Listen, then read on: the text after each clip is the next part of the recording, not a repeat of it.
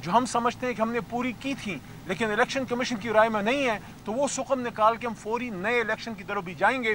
खान साहब ने डायरेक्शन दी है और वो जल्द से जल्द वो इलेक्शन भी हो जाएगा। और आखिरी बात, इमरान खान साहब ने एक बार फिर अज़म का इजहार किया है कि चाहे जितने भी केस करें, चाहे जो कुछ भी करें, ये जेल मुझे नहीं झुका सकती क्योंकि मैं कौम के लिए खड़ा हूँ और कौम की तरफ़ से मैसेज आठ फरवरी को आ गया कि इमरान खान, आप खड़े हैं तो कौम भी खड़ी है।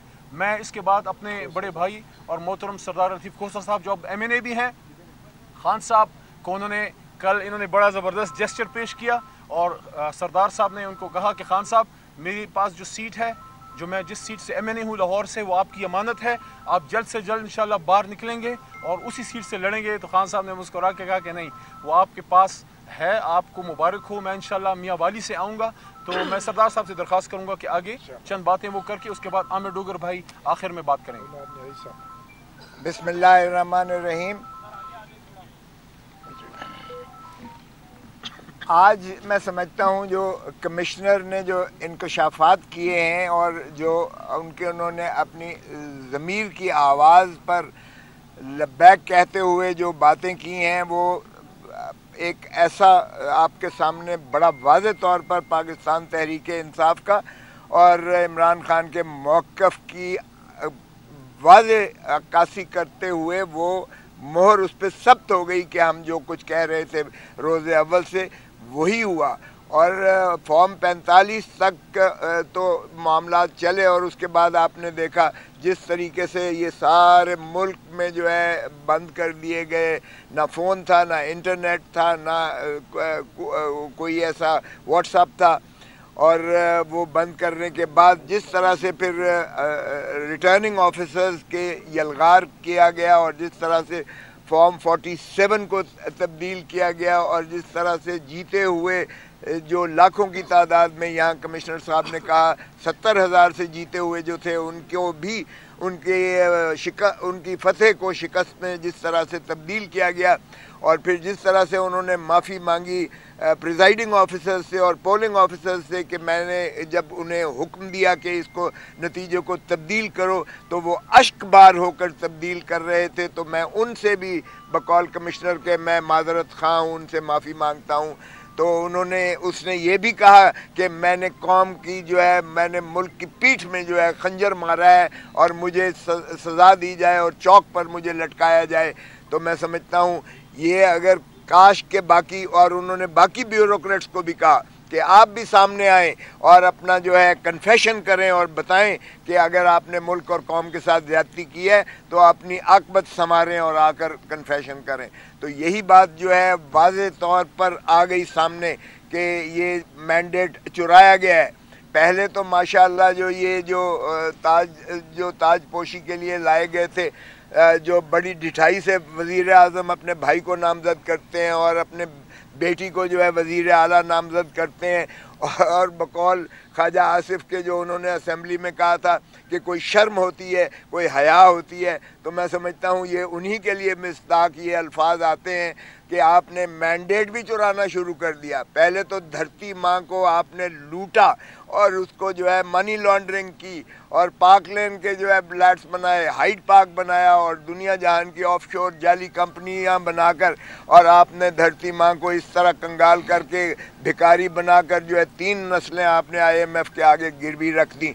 लेकिन अब आपने मैंडेट चुराना भी शुरू कर दिया और चौथी मरतबा तो ये कौम अब इसको बिल्कुल बर्दाश्त नहीं करती। मैं आज की जो इन्होंने एडमिनिस्ट्रेटिव जो टिरनी की गई है, हमारे जो कारकुनों को हमारे जो है एक कैंडिडेट को भी, हमारे सलमान राजा को जो गिरफ़्तार किया गया लाहौर, मैं उसकी शदीद मजम्मत करता हूँ। एक पुरान एहतजाज जो आइनी हक है हमारा, उसको भी इन्होंने रोकने की कोशिश की और जिस तरह से तशद किया गया, उसकी हम पुरजोर मजम्मत करते हैं। और मैं समझता हूँ कि इस तरह से अगर हथकंडे किए गए तो और ज़्यादा धरती माँ को नुकसान होगा। तो हमारा तो जो खान साहब ने कह दिया कि मैंडेट हमारा वापस करो ताकि हम जो है इस रियासत को आ, आगे चलाकर जो है इसको अजमतों पर लेकर जाएँ और जो रियासत मदीना है उसी की मिसदाक चलते हुए पाकिस्तान को तरक्कीों की राहों पर गामजन करें और ट्रूथ एंड रिकन्सिलियेशन कमीशन भी आप बना लीजिएगा ताकि आपको ये भी अंदाज़ा हो जाए कि 9 मई का जो था वो ऑर्केस्ट्रेड था, सिर्फ़ एक पार्टी को ख़त्म करने। और मोहतरम इमरान खान साहब को जो है, वो लंदन प्लान के तहत जो है, उनको सीन वजारत उज़मा से हटाने के लिए और उनको जो है, पार्टी को तितर बितर करने के लिए जिस अंदाज से ये यलगार मचाई गई, अब वो भी अवाम ने मुस्तरद कर दिया। अवाम ने बड़ा वाज मैंडेट दिया कि इमरान खान ना बागी है, ना गद्दार है। और इमरान खान का जो है, वो फैसले भी जो सजाएँ जी जो थी, अवाम की अदालत में जब मैंने सुप्रीम कोर्ट में कहा कि हम 25 करोड़ अवाम की अदालत में इंसाफ लेने जा रहे हैं तो 25 करोड़ अवाम ने इंसाफ बड़ा वाज और दो टोक अल्फाज में दिया। इमरान खान के बगैर ना जमहूरियत चल सकती है, इमरान खान के बगैर ना असम्बली चल सकती है, इमरान खान के बगैर ना रियासत चल सकती है। तो इसलिए इमरान खान को हम तकाजा करते हैं, फिल फॉर रिहा किया जाए। इसलिए कि ये आवाम का क्लियर मैंडेट है। और आर्टिकल 45 में प्रेसिडेंट इसे जो है फॉरन केसेस को कलदम करते हुए उनको मुखलसी करे वगरना हम तकाजा करते हैं कि अदालतों में जो हमारी अपीलें हैं, उनको फ़ौर समाप्त किया जाए, क्योंकि इमरान खान कतई और कुल्ली कुल्ली तौर पर बेगुनाह है। और इन जिस सूरत के साथ इन्होंने सजाएँ की हैं, उसी तेज़ी के साथ इमरान खान बरी होकर और अब अपना जो है दोबारा इन वज़ी अजम बन के रहेगा और यही अवाम की ख्वाहिश है। इसके साथ ही मैं आमिर डोगर बिस्मिल्लाहिर्रहमानिर्रहीम सिर्फ़ एक बात करूँगा, बाकी तफसील से बात कोसा साहब और अली मोहम्मद खान साहब ने कर दी, और फिर हमारे फोकल पर्सन खान साहब के उमैर न्याई साहब भी बात करेंगे।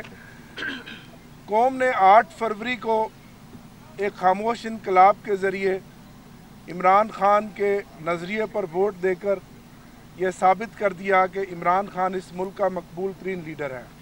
और ये जो वोट है 8 फरवरी का, ये चाबी बनेगा, उस ताले की जो ताला अडियाला जेल का है और आवाम के वोट की ताकत से इंशाल्लाह वो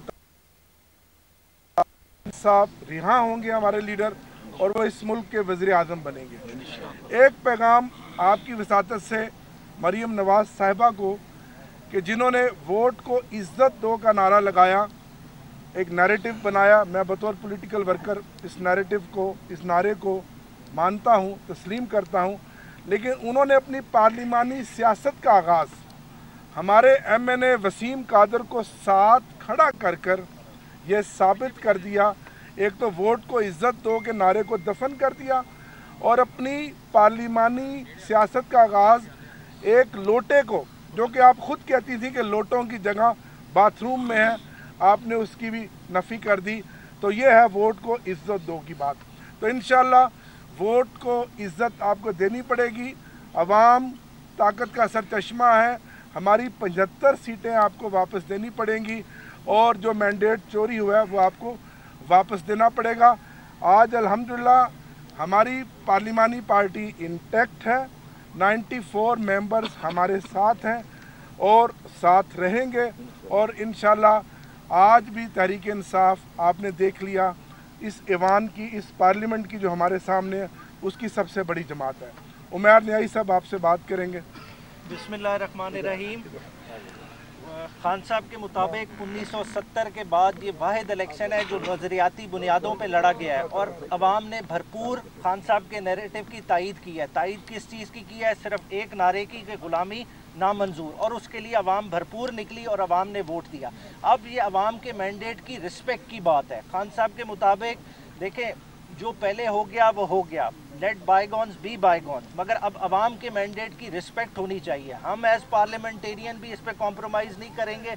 जो हमारे भाई जिनका मैंडेट चुराया गया अस्सी से पचासी सीटें, वो फिल फोर रिस्टोर होनी चाहिए। वो कोई इतना बड़ा मसला नहीं है। अगर नहीं करेंगे तो देखें, हम मुल्क को धकेल रहे हैं एनआरकी की तरफ़। खान साहब का जो सबसे बड़ा कंसर्न रहा है कि कभी भी इकोनॉमिक स्टेबिलिटी मुल्क में नहीं आ सकती, जब तक पॉलिटिकल स्टेबिलिटी ना हो। तो हम खुद से धकेल रहे हैं मुल्क को उस इनस्टेबिलिटी की की तरफ़ तो खुदारा होश के नाखुन ले, आज एक बहुत बड़ी ओपनिंग खोल दी है। एक ब्यूरोक्रेट ने, अब उसके ज़मीर ने उसको ललकारा और वो खुल के सामने आया। और इस तरह बहुत सारे लोग हैं। इस चीज़ की बड़े हाई लेवल पे इंक्वायरी होनी चाहिए। इवन सुप्रीम कोर्ट को इस चीज़ का नोटिस लेना चाहिए। और आज खुद ये चीज़ें ठीक होनी चाहिए, क्योंकि पाकिस्तान जिस स्टेज पे खड़ा है, हम फर्दर एक्सपेरिमेंट के मुतामिल नहीं हो सकते। अट्ठाईस अरब डॉलर से ज़्यादा आपने पे करना है। आपकी किटी में कुछ नहीं है। आपको पैसे देने के लिए कोई तैयार है, नहीं है। तो खुदारा इस चीज़ पे कोई कॉम्प्रोमाइज़ ना करें अवाम के मैंडेट को रिस्पेक्ट करें। और कोसा साहब ने आर्टिकल 45 की बात की थी। देखें खान साहब ने इस पर बड़ा क्लियर मौक़ दिया। खान साहब ने कोई गलत काम नहीं किया। ना वो कोई पार्डन लेंगे वो इस सिस्टम के अंदर अदालती जंग लड़ के ही वापस आएँगे और इस पार्लियामान का दोबारा हिस्सा होंगे और हम सब उनके बिहाब पे उनकी जगह रख के बैठे और एज उनके सिपाही काम करेंगे। शुक्रिया।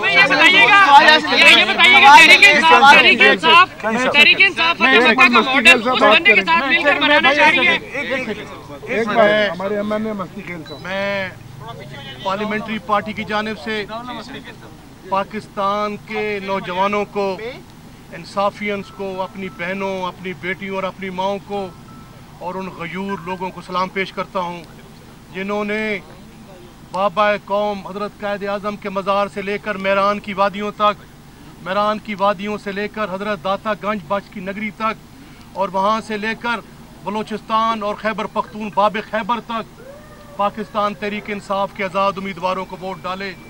बच्चा बच्चा, बूढ़ा बूढ़ा, गली गली, हवाएँ भी कह रही हैं, फ़जाएँ भी कह रही हैं कि इमरान खान के नारे को ला इल्लल्लाह की फ़लासफ़ी को वोट पड़ा है।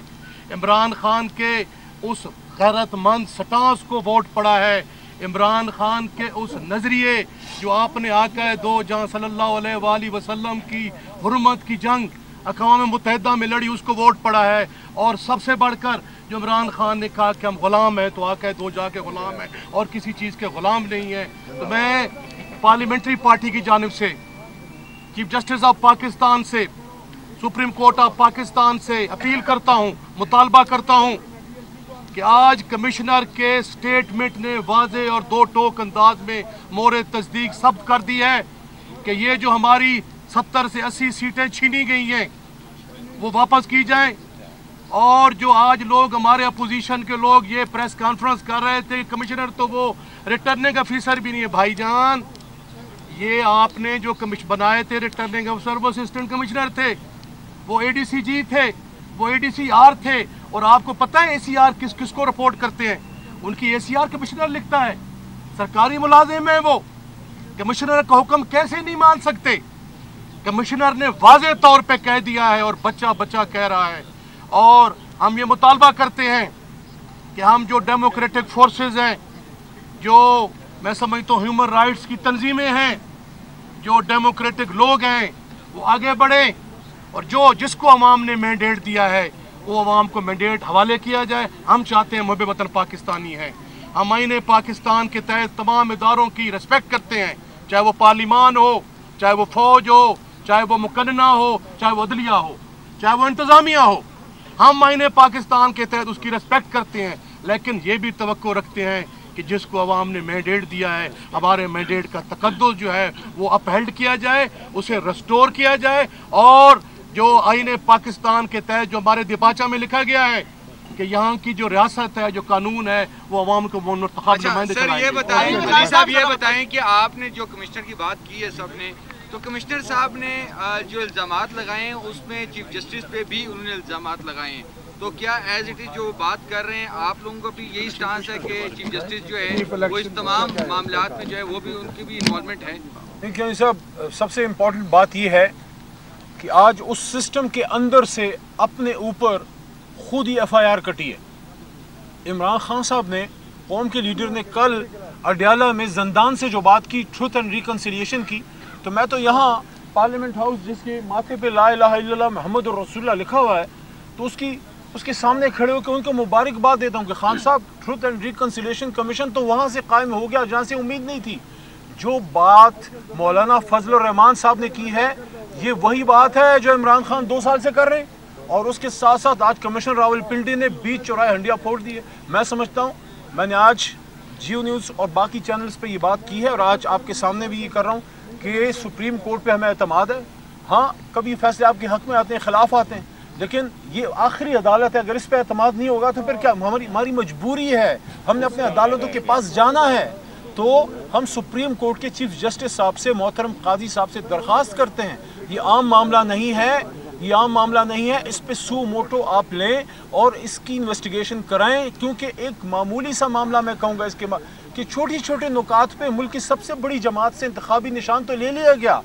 लेकिन ये जो इतना बड़ा डाका कौम के मैंडेट पे पड़ा है इसकी पूछ कब होगी? इसलिए हम चीफ जस्टिस साहब से दरखास्त करते हैं कि उस पर सू अली खान साहब जरा बताइएगा कि इस तरह नौ मई का नौ मई का वाक्य हुआ? उसके बाद कुरान की गिरफ्तारी हुई कुछ शहीद भी हुए। उस नौ मई के वाक़े का कहीं ना कहीं जो बैकग्राउंड है, वो तहरीक अदम अतमाद से मिलता है। तहरीक अदम अतमाद में सबसे बड़ा किरदार मौलाना फजलरहमान ने जो है वो निभाया था। उसके अलावा पाकिस्तान तरीके इंसाफ के ज़मीन गर्म करने का कहा गया था। जो पाकिस्तान तरीके इंसाफ की खातन है, उनको तितलियाँ भी वो कह चुके हैं। आप उनके दर पर गए हैं, सर। तो क्या आप नहीं समझते कि उनका कौन सा जाती है? मेरे छोटे भाई, सियासत में आप बात करते हैं और ये हमारा तो कल्चर है किसी के घर जाने से आपकी अपनी इज़्ज़त बढ़ती है। और दूसरी बात यह है कि मौलाना साहब जिनको आ, मैं बसद एहतराम कहूँगा क्योंकि हमेशा एहतराम का रिश्ता रहा है जिनको यहूदी एजेंट कहते थे माशाल्लाह उन्होंने उनको सीने से लगाया है। और नुक्ता बीच में क्या है? कि जो धांधली हुई है वो कहते हैं कि धांधली हुई है हम भी कहते हैं धांधली हुई है। हमारे बीच में ये पॉइंट मुश्तरक है। सर आप भी फतेह मक्का का मॉडल उस फंडे के साथ मिल के बनाने जा रहे हैं जिसको आप तीन दिनों से जो है वो आप अडियाला जेल के चक्कर काट रहे हैं और मुद्दा एक ही है कि किस सियासी जमात में शमूलियत इख्तियार करनी है। जिस सियासी जमात को आप टच करते हैं वो अदम अतमाद का एक फुकदान होता है। क्योंकि आपके बहुत सारे मेम्बरान के नोटिफिकेशन हो चुके हैं और आइनी मुद्दत उनके पास या एक दिन या दो दिन है। ये कब तक ये मामला फाइनल होगा? कि आपकी सियासी साहब इसका जवाब देंगे। देखें एक बात तो ये है कि जब ऑफिशियल गेजेट नोटिफिकेशन जब होगा उससे तीन दिन होते हैं। आप ज़रा आर्टिकल 51 में बड़ी बातें है जो एक्सप्लेनेशन दी गई है। So gazette official gazette notification नहीं हुआ अभी। सुन। रहे उसमें 91 का हवाला दे के वो तीन दिन की मुद्दत नहीं नहीं नहीं वो जरा आगे पढ़ लें वो रूल उसका। बाहर क्या ये, कम अज कम इंटरप्रिटेशन का इतना तो मुझे हक दे देना कि आई अच्छा मैं आपको अर्ज़ करता हूँ जो आपने कहा कि किसी जमात के साथ हमने बड़ा इस पे शेर हासिल बहस की कल भी हुई हमारी पार्लिमानी पार्टी में। आज भी हुई और आप ठीक कह रहे हैं कि हम अपने चेयरमैन मोहतरम इमरान खान साहब के साथ इसी सिलसिला में और बाकी अमूर भी उसमें आए जो अली मोहम्मद साहब ने ज़िक्र किया है यकीनन हमने किया है और खान साहब की हिदायत पर हम उसमें पेशरफ कर रहे हैं आप ज़रा एक दिन और इंतज़ार कर लीजिएगा कल ये हतमी हो जाएगा और कल इंशाल्लाह सारे